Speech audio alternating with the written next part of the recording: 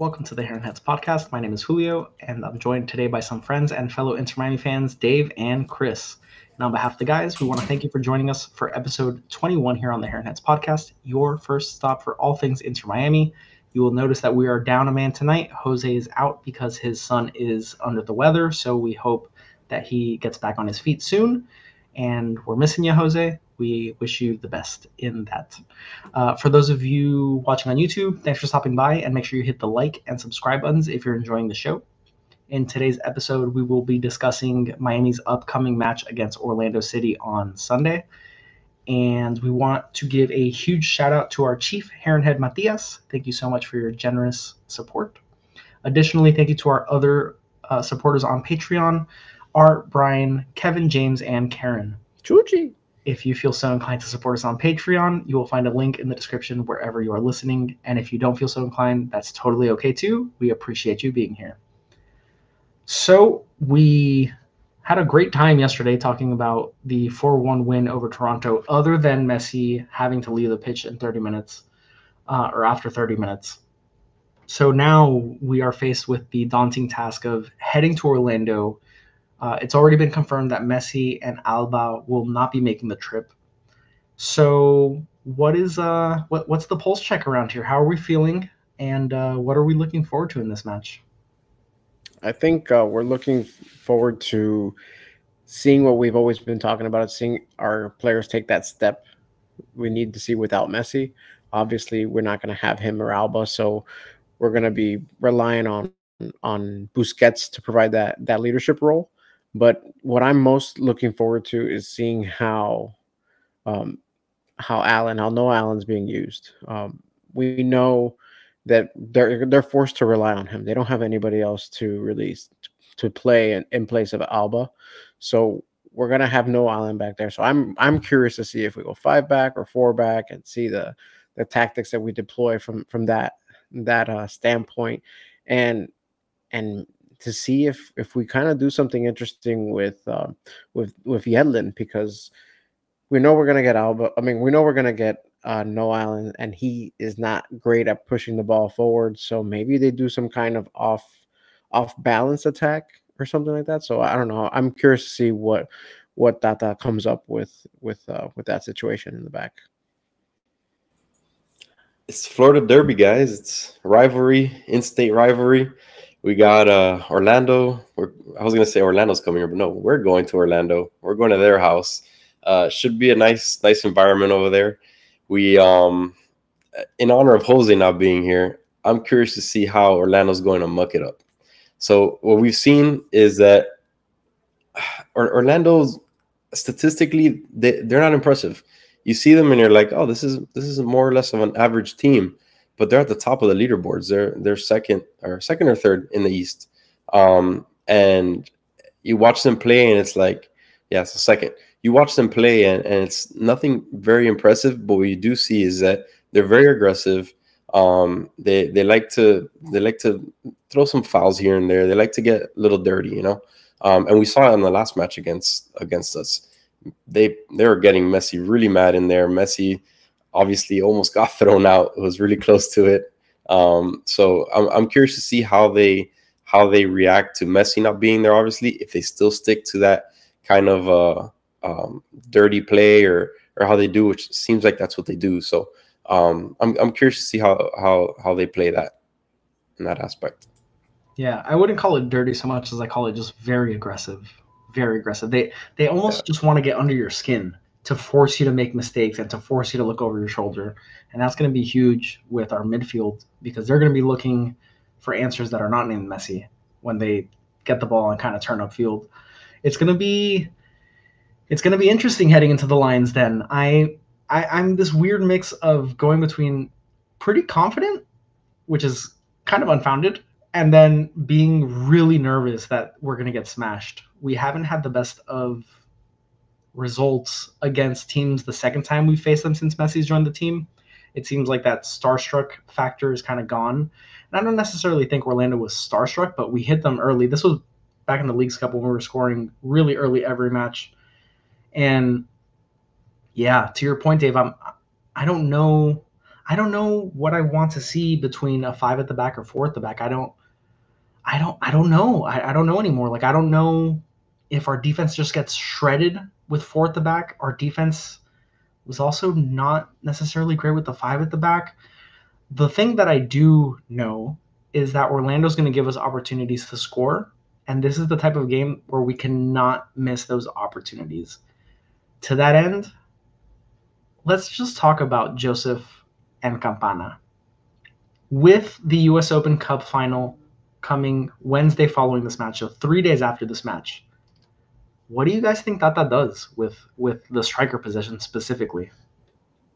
I'm gonna go off on a limb here and say both of them start. I don't think we've seen both Josef and Campana be on the pitch at the same time to start a game, have we? Definitely not. Yeah, I think he might go with something different there.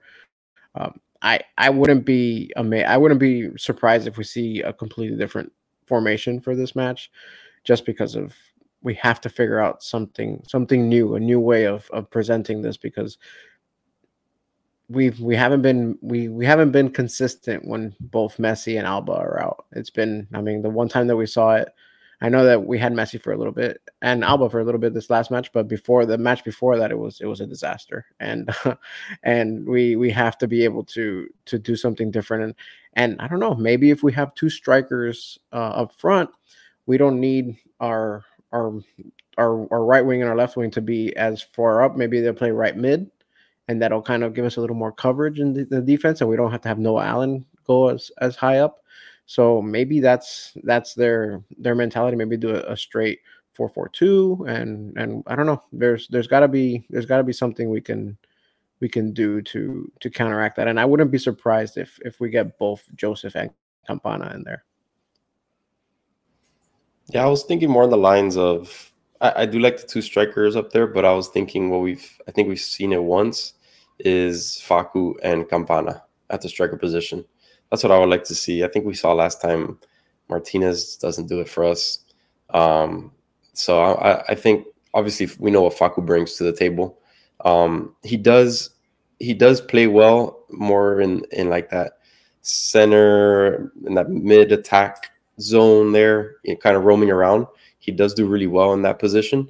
Um, so it's interesting. It's, it's interesting to see what Tata's going to do as far as Facu goes, because he, he is pretty versatile as far as playing a winger or playing there in the middle. Um, so uh, it is going to be interesting, uh, or a striker as well. Um, the other thing I want to see is what's Robert Taylor going to do? Are they going to put him back in the right wing like we saw? Are they going to put him in the left wing with Facu as striker, Facu in the middle? Uh, that's going to be, um, as far as my X factor goes, that's going to be my X factor. Robert Taylor, see what he's going to do. He burned me in the past. I said, I, I, called him my X factor as well, and he didn't. He didn't show up. He, he let me down. But uh, I'm really curious to see what he does this time, especially from what we saw last match. He really stepped up, subbing in for Messi. So um, it's going to be interesting to see if he if he does it again, or if he even starts. Maybe he doesn't even start, but I, I think he has to start tomorrow, or sorry, Sunday and don't get it twisted. I would I would love to see Facu and Campana be the strikers. I just I just know Tata has this this obsession with with finding a way to use Martinez, and I get it. They have history, so I, that's why I'm I'm expecting him to find Martinez into the starting lineup, even if it means setting up next to Campana. I don't think he. I mean, we say it every week. I don't think he can justify keeping Campana off the starting starting eleven. So if he keeps Campana off, I'm I'm telling you right now, I'm gonna be super super upset at, at Tata because this is that would just be a, a humongous tactical failure. I totally agree with you. That said, I think he starts Martinez and I think he rests Campana. I it everything that we're hearing and seeing is US Open Cup final, US Open Cup final, US Open Cup final. And I think Tata prefers Campana for that match even if it means dropping this match or, or at least starting this match with Martinez. And I, I, I disagree with it. I just haven't I, seen any fatigue from Campana. I haven't like I, I haven't watched Campana and be like, oh, they need to get him out of there because he, he's dragging he's dragging his boots. But like I have I haven't I haven't noticed that. And his style of play isn't like this high energy type. Like he's not running around like Cremaschi is. Like I understand maybe resting Cremaschi, but Campana doesn't play like that. Campana is more composed and he and he kind of he, he picks his he picks his, his battles and when to charge and he's again playing that point position that the balls are finding him. I don't think he he's the type of player that really needs all this rest. I, I mean, you gave him you gave him a, more than a half of rest this last match. I understand that the it's a condensed schedule, but he's not he's not old, and and he's gotten a little bit of rest, and his style of play I don't think demands all that type of rest. So I, am sorry, I, I don't see any excuse to not have him start this match and the next match. Yes, speaking, uh, we failed to mention for those that don't know, speaking of resting, so obviously Messi and Jordi Alba are not playing in this match. For those of you who haven't seen the news outlets talk about it, they both suffered or re-aggravated an old injury um, that they had from the past last match against Toronto SC last night. So um, right now, the the the news, um, all they're both going to miss uh, the match in Orlando. They're both for the for the U.S. Open uh, final on next Wednesday. So right now, so it seems like it is an old injury that's just lingering and bothering him. So hopefully we'll have some more info on that, even though it's a uh, um, very uh, like wishy-washy the way they report these things. Um, but they say it is a lower leg injury right now. Um, so hopefully we'll have some more info soon. So that's why we're talking about who's starting, who's resting because it's a big question mark. These two main guys are are, are not out there, so it's, it's a really big topic right now to speak about. Yeah, Messi hurt his posterior, right, Dave? Who knows? I've, I've seen I've seen all kinds of things reported. He lower leg, lower extremity, posterior, which as far as I'm concerned, that's his booty. So I, I don't know I don't know what he hurt, but something. The situation is now booty. Uh, yeah, it it, it's it's so it's gonna be so weird. I I have this just sinking feeling that Martinez is gonna start, and and I hate it because I I, I, I agree. Campana should start every single match, and he should play ninety minutes every single match because he's so much better than Martinez. Just accept I, it. That's why I said both of them are gonna start because that way. But the problem is with both of them at the same time. With both of them starting, there's no there's no relief. There's no Robbie relief. Robinson with a switch of of uh, formation. It, it's like the only solution. I yeah, I'm not sold that he starts both of them. I of of the two options given by you guys, I would prefer Campana and Farias, even Josef Martinez and Farias, although they're very similar in theory stylistically.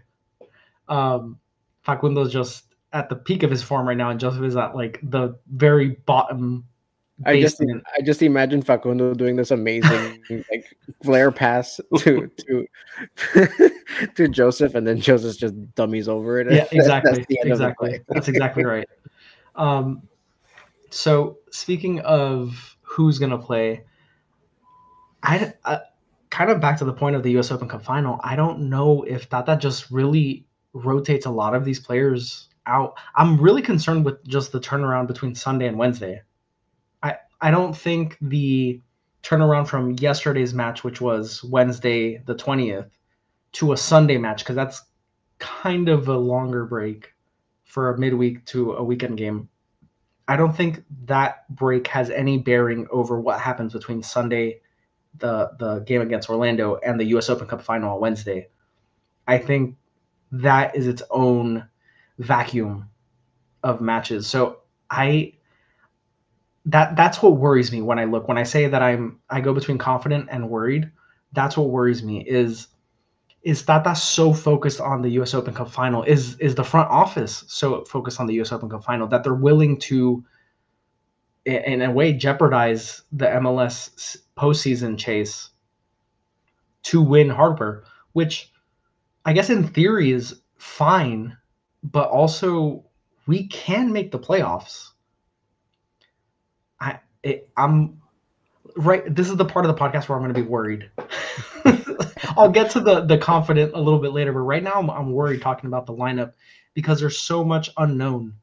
We go every match kind of with an unknown. Like we think Campana is going to start and score a brace, and then all of a sudden Martinez is starting where he's been awful, and we can't really get a read on what that that's going to do, which is okay because you you don't want to become predictable, but also you need to give yourself the best chance to win or give yourself the best chance to take a lead and then mix in these players that you want to mix in. So that's the part of me that's really worried is is who the heck are we going to put out on the pitch?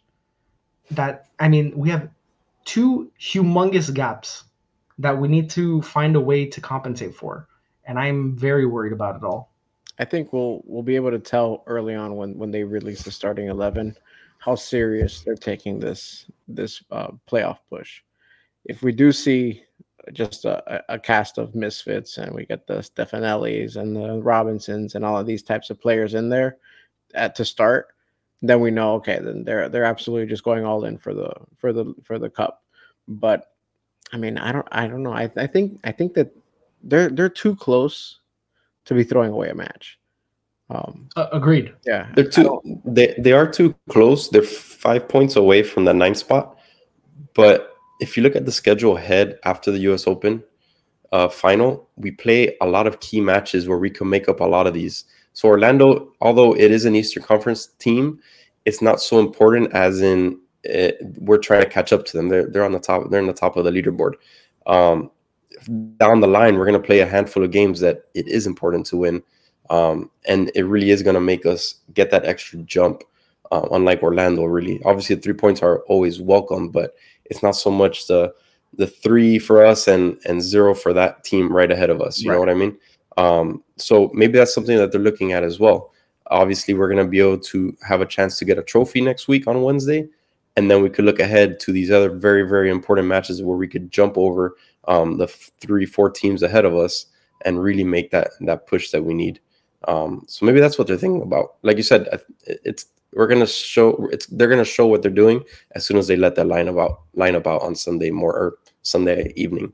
Um, because that you'll you'll see if it's like Julio said, it's a bunch of mis- misfits, and you know we know what their mindset is. So you know what you convinced. It's gonna me. be interesting. I you convinced me. I want to see stuff Finelli out there. I want to see Robbie Robinson. Show me something, guys. Let's see what you can do. That would be so amazing if Tata throws out uh, the equivalent of a B team. Even though some of these guys are obviously good, if he throws out, for all intents and purposes, a B team, and we come away with with forget a, a victory with points, a point, yeah, I would be I would be on cloud nine. Did was it the Kansas City game that they played? The uh, Stefanelli, yeah, and then I think Rob Robinson. Robinson was subbed in, no, or was, was did he, start? I don't remember now. He was Robinson and Stefanelli, and they did okay. we were saying in Alba. our chat like they did okay. But they, the had Alba. They that's had that's Alba a big X factor. Alba and Yedlin, and I think our team just it's built around those two positions. We, since we don't have a natural replacement for Alba or Yedlin for that matter, it's it, it really throws us for a loop when we don't have. I mean, I, I sound like a broken record. I feel like I've said this the last three matches, but yeah, when when we don't have that those positions, that's when I think Tata has to figure out an alternative lineup, an alternative lineup for for when we're missing those those spots. So, and, and don't get me wrong, Kansas City is a completely different team than Orlando. Orlando is is much better than them, so it, it is a different, uh, a completely different team we'll be facing this time around. So I'm not saying that it's going to be the same even with these guys starting. It's not, but it's just something to think about. We have seen them start. We have seen him play decent. So who knows? I wonder. I'm looking at the last time we played without Messi and Alba, which was against Atlanta City, which was an absolute disaster. Uh, I wonder if we see the return of Diego Gomez into the starting lineup. Last time we played against Atlanta, or last time we played without Alba and Messi in this Atlanta match, the midfield consisted of Cremaschi, Busquets, and Arroyo, which on a normal day sounds very nice. Solid, gives you something in attack, gives you something in defense. Overall solid. But Cremaschi's playing on the left side with Allen behind him. And Cremaschi is always going to be a little bit more forward thinking. Maybe Gomez works his way into the starting lineup if he looks good in training. He was supposed to return to training today. I didn't see actually any reports that he actually did. But I wonder if he is available and if he is, if he's fit enough to start a match and starts maybe on the left side of the midfield to provide just a little bit more protection to Noah Allen. In some of the film that we watched Atlanta play, they get numbers up quick. They play typically a 4 2 3 1, which means that they have the ability to get a bunch of those people that are in midfield up the pitch very quickly. Uh, at times, the striker can be isolated, but these these pieces and players that are playing quote unquote attacking mid, whether it's left side, right side, or center, they can really push up and and cause a, a numbers problem against the defense. So maybe Gomez would be something, or or not necessarily even Gomez, but just any more box to box minded or defensive minded midfielder on the left to, side. It'd have to be Arroyo, Arroyo and Busquets. That's that's why I think. Yeah, I think those two have, have to, to, be, be on. Yeah. But I, I think the Could, third midf- midfielder, what like maybe Ruiz. I don't think Ruiz was Ruiz. Ruiz started. Ruiz last, subbed. He on, started last match. Right, he subbed on in the Atlanta match uh, came on for Arroyo. You know, I, I just I don't know. this lineup is just it's it's what's making me most worried. Yeah, because I mean there's there's innately a panic because Messi's not playing. It is compounded when Alba's not playing. Because in attack, I'm not too concerned. I think we have a very potent attack even without Messi. It is exponentially better when we have Messi. But I still have a lot of confidence in the attack without Messi. It's the defense that is an absolute disgrace when Alba's not there. We got shredded by Atlanta. Noah Allen just he pushes up too aggressively and then tries to overplay the ball, loses it, and he's literally like by the corner flag and cannot get back and it causes all sorts of problems and it, it's a huge worry more so than than Messi Messi and we there were a lot of people in the comments last time we talked about this saying how can you be like disrespectful of Messi and the downgrade from Messi to to Robert Taylor between uh, Alba and, and and Allen. The thing is, is that our deficiency is in defense. Our deficiency is not in offense. So the defense and specifically Noah Allen is going to be a huge item to watch. It's going to be a huge position to watch when when the lineup does come out. Yeah, we, we can score. We can score without without Messi one thing that I would say, like if we did have Messi, I'd feel a little bit better about having Noah Allen out there just because of the attention that Messi draws. It kind of gives the defense a little more wiggle room um, because they have so many eyeballs on Messi. So it the, it, it kind of gives you a little bit more of a of an opportunity to to have some space back there, but we don't have Messi, so Allen will be on an island and he's gonna find himself either in the wrong position, making a bad pass, or or taking a bad touch. It's just it happens very often, and and it's it's to continue to happen. There's no, I'd be very very surprised if if it changes from one match to the next. So the the Leagues Cup uh, match against Orlando, Allen did start back there, but like you said, Messi was in the starting lineup, obviously, so that changes everything. All the tensions on him, but Allen was back there, and shoot, we beat him. What was it, four one, three one? It was three one. I think um, when Messi's in the lineup for us, we're able to hold possession of the ball so much more. We saw against Atlanta, not able to hold the ball.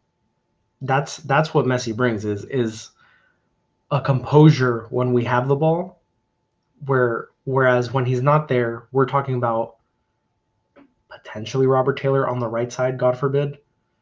You know, it's it's just that dy- dynamic, and I I feel like I shouldn't have to apologize for saying that Messi out is is a big deal because it is a big deal. Like we know that that that should go without saying. But that that's what worries me as far as we've played without Alba before, but Messi being out uh, again obviously affects a lot of things. But the possession of the ball I think is going to be dramatically different. Last time we played against Orlando in the Leagues Cup, we had the the possession was 59 to 41 in our favor. I think this is way more closer to an even split or even Orlando having the majority of possession. It would um, to go back to David's point with um, adding that extra piece of defense back there. We've only seen what two formations from Tata, more or less, uh, going forward. Could he throw in the third one and copy Orlando's four-two-three-one as well? To David's point, just to give a little more help on the defense, it'll allow the wing backs to kind of stay back a little bit.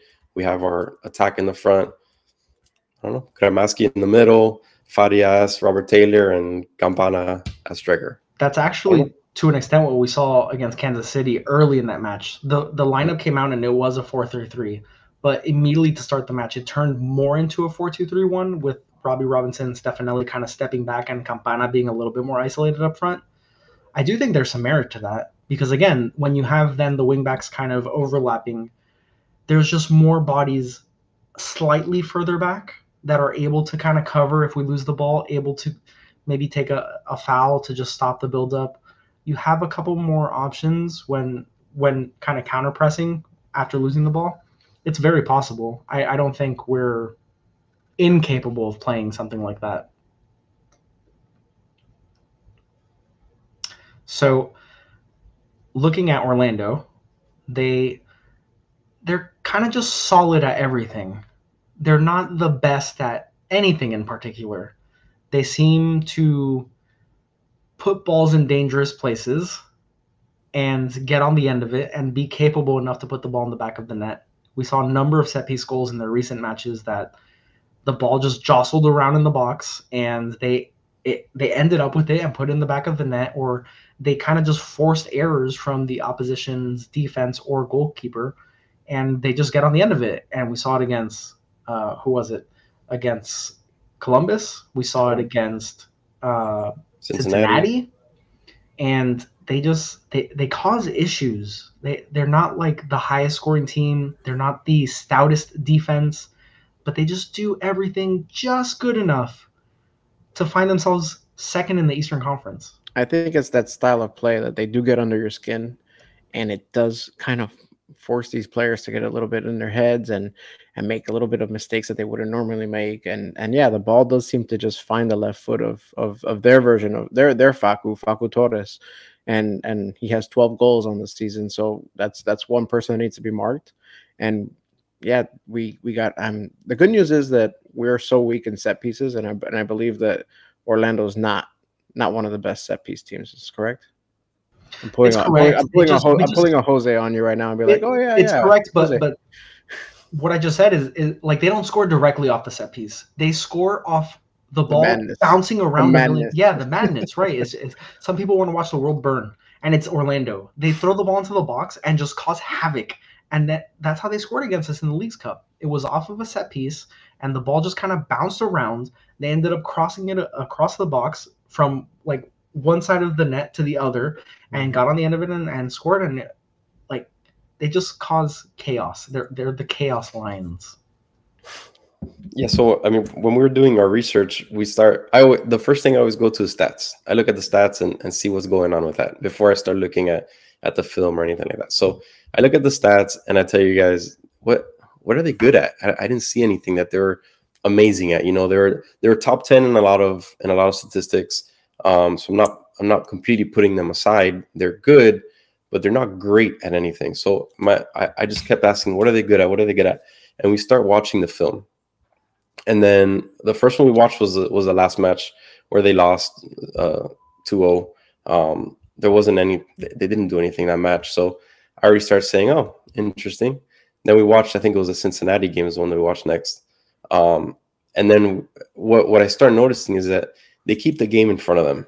They don't they don't get blown out, but they also don't do the blowing out. They they don't they don't kill these teams either. They keep the game in front of them.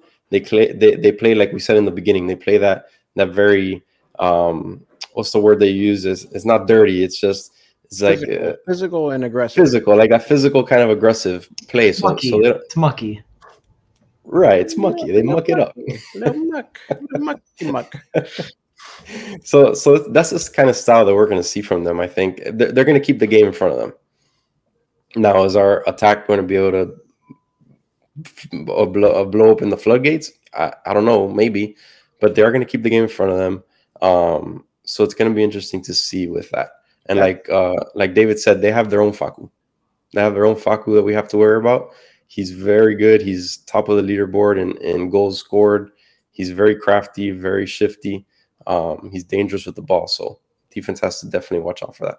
One thing that I did notice when we are watching when we we're watching those different matches is that their defensive line seems to allow uh, some some gaps and some room to play, and especially when we we're watching the the highlights of uh of how, how we scored on them the last time we played. Uh, we definitely. I don't. Again, it's tough to tell. I don't know if they're messy watching or not, but we were able to really carve through them in in the attack. So hopefully, we still see this type of of, of space because it would be huge for us. I, I think that that our Facu Facundo Farias will will be able to to really feast in these types of areas, especially with his dribbling um, and his and his flare passes. So hopefully those lanes are still there because if if they do give us that space, I don't think that this this is going to be too much of a challenge to get through. Yeah, what what's funny is you say that maybe they were Messi watching. If they were, they did a bad job because they left Messi wide open. But but again, to to back to the point of them being just good at everything, they're just they're they're they're like just above average, even at home. They've made their money away actually. But at home, they're seven, four, and three, which is good. You would take that, but it's middle of the table in the Eastern Conference. It is exactly eighth out of 15. And they've allowed 16 goals at home, so a little over one goal per match. And that's, to me, that's where we have to exploit them, is try to be the first team to score, which Orlando has been the first to concede a goal in eight out of their last 10 matches overall. Take the early lead or take a lead, right? go up 1-0 and I'm not saying park the bus because I don't believe in that, but maybe then we we transition from a 4-3-3 into a 4-2-3-1 or maybe we transition into a a more midfield minded formation just like we saw against Toronto when Tata switched from 5 at the back to 4 at the back or from 3 at the back to 4 at the back. And we we took up the midfield, we set up shop and we just held possession for long stretches. And granted, Orlando's going to foul the heck out of us. And, and if we try to hold possession for too long, they're going to tackle us and be very aggressive in trying to take it away, especially at home.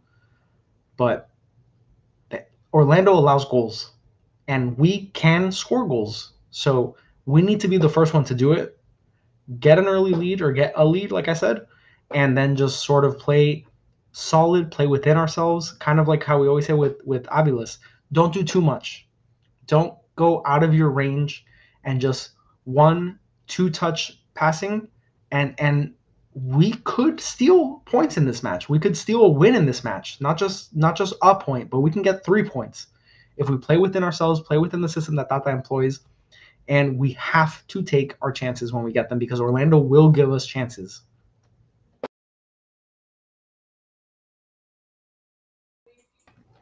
You're on mute, David. Sorry, guys. it all. I think it all comes down to who he starts. If if like, if we see the right combination of players, we'll we'll we'll believe more that that they're they're gunning for three. But but yeah, I think regardless of of who they start, they they gotta feel that they can come away with at least a point in this in this match. I going just before we kind of move on to your point of their line feeling disjointed at times, their defensive line, Orlando's. Maybe that's what Josef needs. He doesn't have the same burst, but he has the ability to play off the back shoulder. And maybe this is like, maybe Tata looks at him and is like, this is your last chance to prove that you can still do the things that you did or the things that you are best at, which is getting on the back shoulder of this defensive line, finding the gaps behind. And if we see similar defending to what we've seen in some of these recent matches from Orlando, there's a good chance that he can actually break the line, get some really nice opportunities, and make me a believer. Because right no now confidence. I'm not. I have, no I, have, I have no confidence either. But I think the confidence is a byproduct of Orlando's defense rather than of Josef's prowess right now. It's not a belief in last match. Josef. It's last match, Josef Orlando's lack ball. of ability. Sorry, Last match, Josef had the ball. There was nobody around him, and he found a way to to to, to screw that up. I have no confidence they can give him all the space in the world that he can make the right right decision right now. I hope I hope he proves me wrong. I really do, and I'll apologize in the next episode. But after after what he did the last match and and what he's shown, I'm sorry. I'm how am I supposed to have any kind of confidence that he can do anything with any kind of room? Yeah, I, I I'm right there with you. I I am on the prove me wrong boat but I'm just saying, based off of what we've seen from Orlando recently, it's his, it's his best shot. I think it's his best shot. So let's uh let's look ahead to, to predictions for this match. I am gonna say I think this might be my lowest score prediction since we've been doing this. I'm gonna say I'm gonna say two zero Miami wins. I thought, yeah, I'll, I'll go next. I'll, I'll, leave Dave, Dave Stradamus to the end. We everyone wants to hear Dave Stradamus, so save the best for let's last. Leave, let's leave him as as a prime time focal focal point at the end. um, so I thought you were about to copy me, and I was gonna have to change the score in my head, but you did it. So that's right. I'm gonna go with two one. Like we said, so obviously, I think you for the listeners out there, you've kind of seen our progression here when we heard Messi and Alba were out, we are all like, "Oh crap, that's not good. We're gonna lose. It's Orlando. Oh my god!" Like we, we freaked out, right?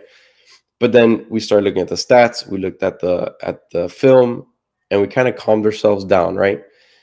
Before looking at at all of that, I was ready to say two one loss to Orlando. To tell you guys the truth, but after doing the research, after looking at the film, I'm confident in saying that we're going to win 2 1 against Orlando. We're going to get our three points we're gonna go into our, our US finals match guns a blazing with all of our top dogs rested and ready to go.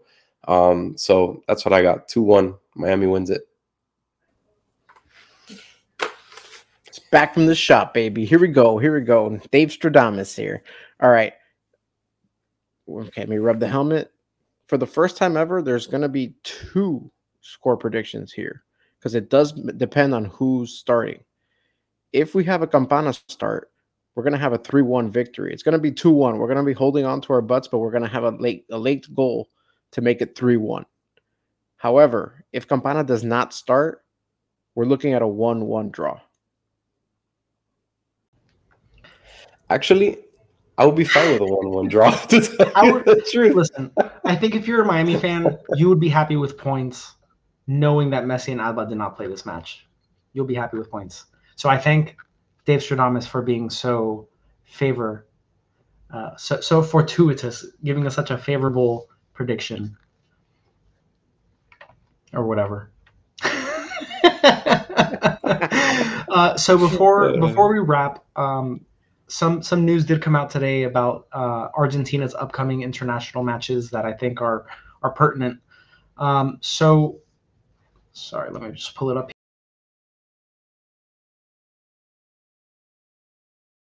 So Argentina's upcoming matches uh, against Paraguay and Peru have officially been confirmed to be played on Thursday, October 12th and Tuesday, October 17th. The Inter Miami matches around that international break take place on the 7th and the 18th, with the 7th being at home against FC Cincinnati and the 18th being at home against Charlotte. Two big matches, as we'll be really at the very end of the season. Um, FIFA requires, I believe, a five day period if you're sending them to a match. So that would fall right in line with that game against Cincinnati heading into it on October 7th. Um, and then the Charlotte match is just one day after the scheduled uh, Peru Argentina game. So if Messi is even present at that at that Peru game, he will definitely not be available for Charlotte. Um, it will be remain to be seen if Inter Miami maybe keep Messi uh, for the the match on the seventh against against Cincinnati, and then he would miss the game against Paraguay, a game that is played in Argentina. I find that difficult to believe. I, I think I, they'll be kind of strong armed into having to send him.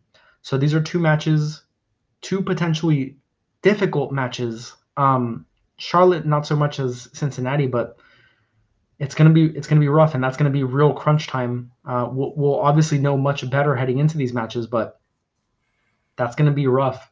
Cincinnati might not have much to play for at that point, but that doesn't mean that they're not gonna want to beat us, especially in Miami.